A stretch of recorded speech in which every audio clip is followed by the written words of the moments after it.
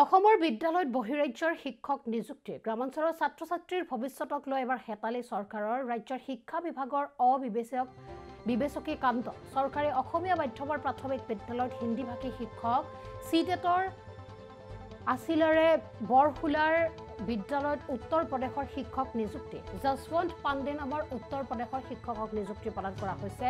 অসমীয়া মাধ্যমৰ বিদ্যালয়ত শুকানজান বনুৱাগাঁও প্ৰাথমিক বিদ্যালয়ত নিযুক্তি যশৱন্ত পাণ্ডে। অসমীয়া স্কুলত হিন্দীভাষী শিক্ষকৰ নিযুক্তিক লৈ তীব্ৰ প্ৰতিক্ৰিয়া। অসমীয়া অ আ ক খ নজনা শিক্ষকে কেনেদৰে পাঠদান কৰিব ছাত্ৰ ছাত্ৰী আৰু শিক্ষা বিভাগৰ বিসংগতিপূৰ্ণ নিযুক্তি বাতিলৰ দাবী উত্থাপন কৰিছে স্থানীয় ৰাইজে।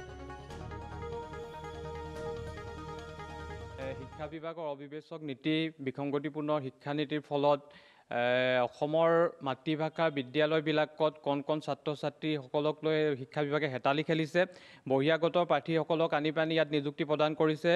অসমীয়া মাতৃভাষাৰ আও ভাও নজনা ক খ পঢ়াব নজনা এজন প্ৰাৰ্থীক আনি পানি শুকানজান বনোৱা প্ৰাথমিক বিদ্যালয়ত নিযুক্তি প্ৰদান কৰিছে। এই এই কথাটোত ছাত্ৰ সন্থাই আমি বিৰোধ বিৰোধিতা কৰিছোঁ আৰু ছাত্ৰ ছাত্ৰী আৰু মাতৃভাষাৰ সুৰক্ষিত স্বাৰ্থত এনে নীতি চৰকাৰক পৰিহাৰ কৰিবৰ বাবে দাবী জনাইছোঁ আৰু অতি কম সময়ৰ ভিতৰতে চৰকাৰে ফলপ্ৰসূ সিদ্ধান্ত গ্ৰহণ কৰিবলৈ আহ্বান জনাইছোঁ শিক্ষা বিভাগক।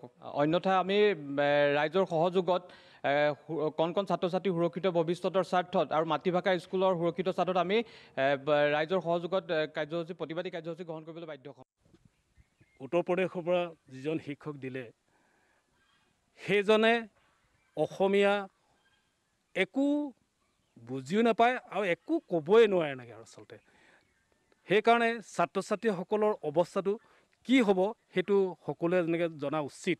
কাৰণ যিহেতু এনেকৈ আৰু শিক্ষকজনে অকল হিন্দীহে এনেকৈ জানে গতিকে আমাৰতো এতিয়া অসমীয়া মাধ্যমত প্ৰাথমিক বিদ্যালয়ত